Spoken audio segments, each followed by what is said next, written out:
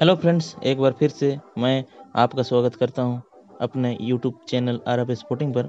दोस्तों, आप सभी को पता ही होगा कि आई एस एल सेवन यानी कि 2020-21 का सीज़न समाप्त हो चुकी है और यह भी पता होगा कि इस बार मुंबई सिटी एफसी चैंपियन बनी है। लेकिन आप में से कईयों को यह नहीं पता होगा कि विनर और रनर टीम को पुरस्कार राशि के रूप में कितना राशि मिला है। गोल्डन बूट किस खिलाड़ी को मिला? गोल्डन ग्लव्स किसे मिला?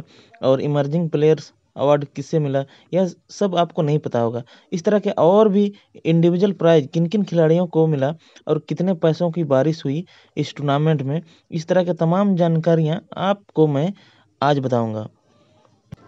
तो यह है दोस्तों सीज़न सेवन की winner team Mumbai City FC और इस टीम को पुरस्कार राशि के रूप में कुल आठ करोड़ रुपये दिए गए।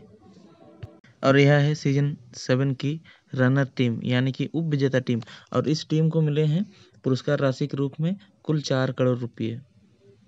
तो चलते हैं अब इंडिविजुअल प्राइज की ओर। इस season winning pass of the league का पुरस्कार दिया गया एफसी गोवा के खिलाड़ी अल्बर्टो नोएग्रा को और उन्हें पुरस्कार राशि के रूप में कुल टू पॉइंट फाइव लाख दिया गया।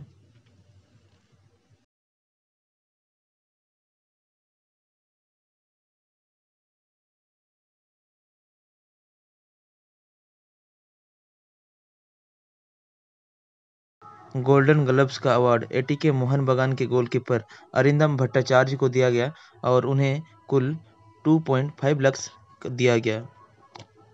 और गोल्डन बूट अवार्ड, जो कि टूर्नामेंट में हाईएस्ट गोल स्कोरर को दिया जाता है, यह पुरस्कार दिया गया एफसी गोवा के खिलाड़ी इगोर एंगुलो को और यह 2.5 लाख दिया गया उन्हें। तो अब बात करते हैं hero of the league hero of the season seven की और यह पुरस्कार, यह अवार्ड दिया गया एटी के मोहन बगान के कप्तान रोय कृष्णा को और उन्हें यह राशि दिया गया कुल फाइव लैक्स तो दोस्तों, यह महत्वपूर्ण जानकारी वाला वीडियो आपको कैसा लगा कमेंट बॉक्स में ज़रूर बताएँ। और अगर चैनल पर नए हैं तो सब्सक्राइब ज़रूर करें। जय हिंद, जय भारत, जय झारखंड।